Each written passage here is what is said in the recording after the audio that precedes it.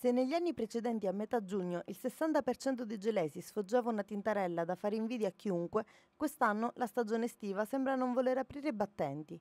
Il meteo ballerino delle ultime settimane ha reso quasi impossibile recarsi in spiaggia per una giornata intera e sono in molti che approfittano delle sporadiche giornate di sole per fare il tanto atteso primo bagno. Speriamo che, che mantenga il tempo perché se non mantiene qua non si va da nessuna parte. Siamo stati sabato, poi è venuta la pioggia, si ferma a casa, oggi l'altra volta. Finalmente sì, primo giorno di mare. L'abbiamo aspettata con tanta ansia perché io amo il mare e non vedevo l'ora di ritornarci. Quali sono le prospettive per quest'estate 2023? Rilassarsi, divertirsi e stare più possibile con i bambini, per quello che mi riguarda.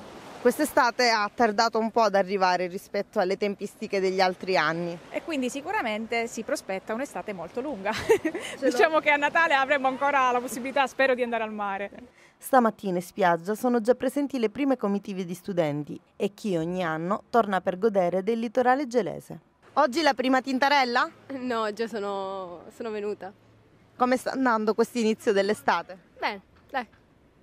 Se il tempo si sistema.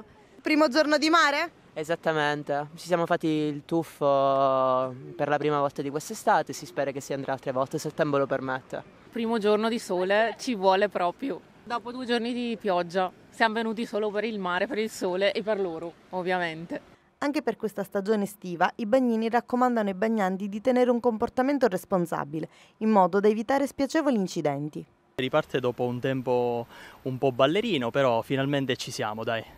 Quali sono le precauzioni da tenere sempre quando si va a mare?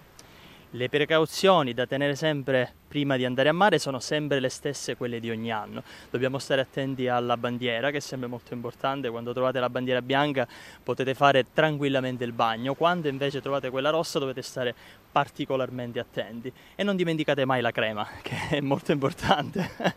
Quali sono i presupposti, come si presenta questa nuova stagione?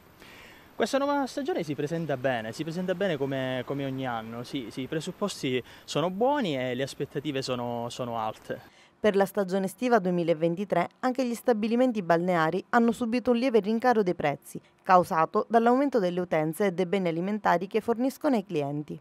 Nonostante gli aumenti, la Sicilia si mantiene tra le regioni più economiche per quanto riguarda i costi da sostenere per chi si recherà al mare, è quanto rilevato da Feder Consumatori che ha analizzato i prezzi dei lidi e servizi delle spiagge di tutta Italia.